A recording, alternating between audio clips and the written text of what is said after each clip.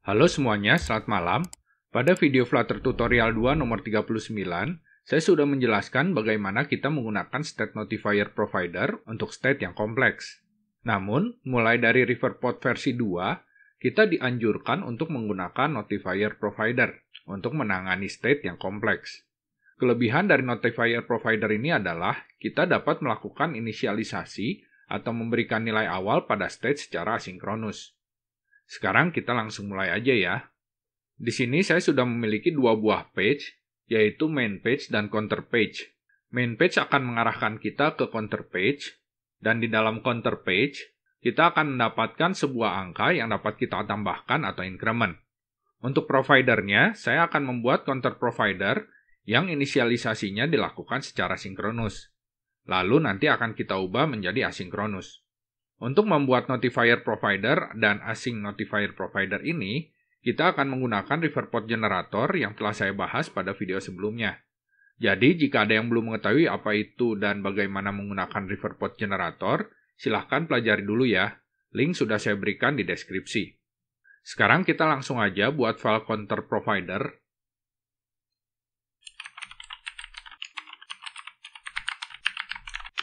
Untuk membuat notifier provider, cara penulisannya seperti ini.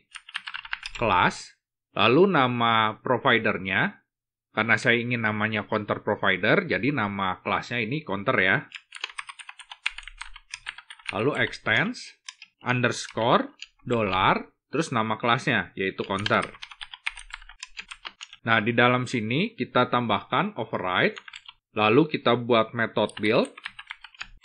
Tipe kembaliannya itu adalah tipe dari state-nya. Karena counter provider ini akan menyimpan sebuah angka integer, maka tipe kembaliannya itu adalah integer. Jadi fungsi build ini adalah untuk memberikan nilai awal pada state pada notifier provider.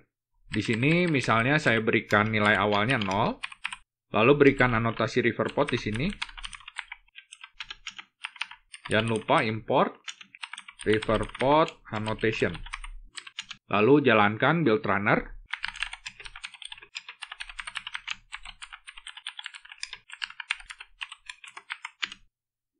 Ini kita save. Oh iya, saya lupa tambahkan partnya ya. Part counterprovider.g.dart. Kita save. Berhasil ya. Counterprovider.g.dart-nya sudah dibuat. Berikutnya kita buat fungsi increment-nya.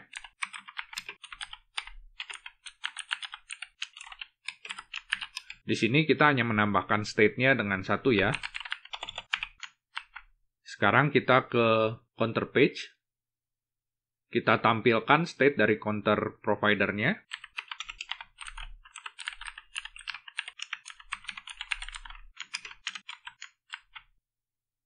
Di increment button kita tambahkan codingan ref titik read counter provider titik notifier titik increment. Save. Kita coba jalankan ya. Kita F5. Kita ke counter page. Kita increment.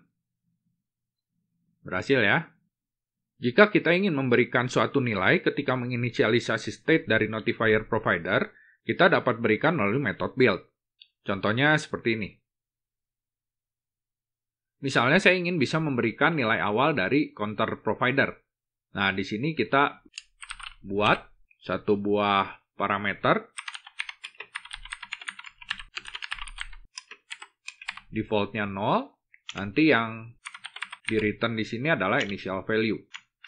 Dengan demikian, di counter page ini kita bisa berikan parameter ya. Initial value-nya misalnya 10. Lalu di sini kita tambahkan initial value-nya juga sama ya, 10. Di sini kita perlu memberikan initial value-nya yang sama ya. Kalau di sini 10, di sini 10. Karena kalau misalnya kita berikannya beda, nanti ini dianggapnya counter provider yang lain. Jadi nanti akan ada dua counter provider kalau misalnya ininya beda. Misalnya kalau ini 5 gitu ya. Jadi nanti akan ada dua buah counter provider. Yang di sininya counter provider yang 10, kalau yang di sini counter provider yang initial value-nya 5. Jadi ini kita perlu samakan. Kita save. Kita F5.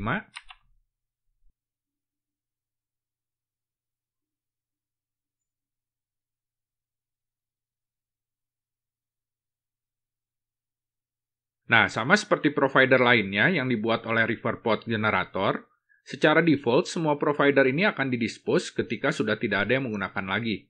Oleh karena itu, jika kita kembali lagi ke counter page, kita akan mendapati bahwa state dari counter provider yang telah kita increment sebelumnya menjadi 10 lagi. Agar nilainya dapat terus tersimpan selama aplikasi kita berjalan, maka kita perlu mengubah nilai dari keep alive-nya menjadi true. Ini kita stop. Kita ke counter provider. Ini kita ganti ya. River pod. Keep alive. Kita ubah menjadi true. Save. Kita F5 lagi. Kita increment. Kita kembali, kita masuk lagi, masih 15 ya. Jadinya nilainya tetap disimpan. Oke, sekarang kita akan coba membuat async notifier provider. Mari kita umpamakan bahwa inisialisasi nilai awal dari counter provider ini memerlukan waktu. Seperti contohnya mengambil nilai dari API. Dengan demikian, maka metode build di dalam counter provider ini tidak akan lagi mengembalikan nilai integer, tapi future of integer. Kita stop. Di sini kita ubah menjadi future of integer. Karena proses inisialisasinya akan membutuhkan waktu. Tidak dilakukan secara sinkronus. Ini kita hapus saja. Misalnya di sini kita await. Kita berikan delay selama 3 detik. Setelah itu baru kita return 0 aja ya. Misalnya seperti ini. Nah, karena metode build ini tidak mengembalikan nilai secara langsung, yaitu dia asinkronus ya, maka tipe dari state dalam counter provider sekarang bukanlah integer, tapi async value of integer.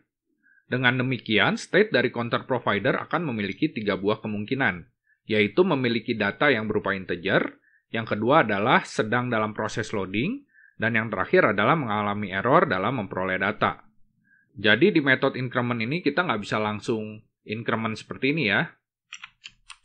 Kita perlu memastikan bahwa metode ini dijalankan hanya ketika state dari counter provider sudah memiliki data. Di sini saya buat satu buah variabel value, tipenya nullable integer. Saya isi dengan state titik value or null. Jadi, value ini akan diisi dengan nilainya state kalau state-nya sudah memiliki nilai. Tapi kalau misalnya state-nya sedang loading atau error, yang diberikan itu adalah null. Jadi di sini tinggal di if aja. If kalau value-nya itu tidak sama dengan null, jadi ada value-nya ya. State-nya saya ubah menjadi async data Nilai yang barunya itu adalah value plus 1. Save. Sekarang kita ke counter page. Ini hapus ya. Sekarang untuk watch-nya sendiri, kita ubah juga karena ada tiga kemungkinan.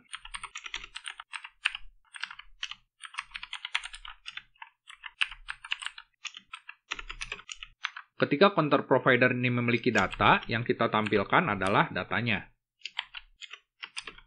Kalau error, kita tampilkan errornya. Sedangkan kalau loading, kita akan tampilkan tulisan loading. Save. Sekarang kita coba ya, kita F5. Kita ke counter page. Loading dulu. Nah, sekarang sudah dapat nilai awalnya. Tinggal kita increment. Kita kembali kita ke counter page lagi, datanya tetap 5 ya, karena kita di sini sudah pasang keep alive-nya true. Oke, sekian pembahasan saya mengenai notifier provider dan async notifier provider. Semoga bermanfaat. Terima kasih sudah menonton. Sampai jumpa.